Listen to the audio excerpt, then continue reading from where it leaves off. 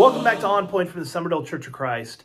For a lot of us, uh, the Christmas holiday and Thanksgiving, which we had a few weeks ago, really give us a sense of joy. Uh, the fact that we get to be together with family, uh, we get to give gifts to our loved ones, uh, we get to have some fun uh, and have um, opportunities to speak with family and talk to family maybe we hadn't seen in a while.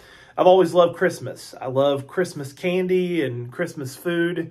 Um, I love being able to give gifts to people. I love being able to do the Dirty Santa games we have at some of our holiday events. All great stuff.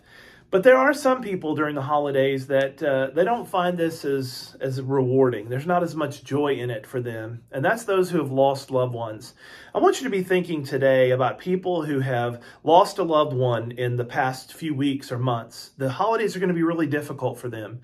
Be thinking especially of those that have lost a spouse. Uh, this is a very um, depressing time for a lot of people. So let's ensure as we pray for them that God will use us in a way to encourage. Let's pray together.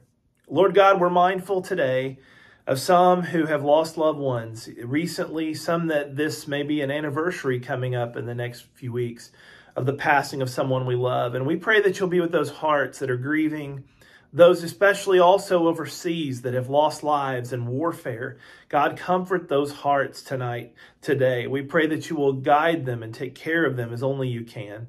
And uh, help us to be a minister to those who grieve in Jesus' name. Amen. Now, we want to make sure and not just pray that prayer, but let's make application of that prayer. Who do you know? Who are you thinking about in that prayer together? That's somebody you need to reach out to today and let them know that they're loved. If you got an extra table, uh, extra seat at your table. Invite someone who doesn't have anybody. Let them know that they're loved. It'll be a blessing to you. Thanks for tuning in to today's On Point.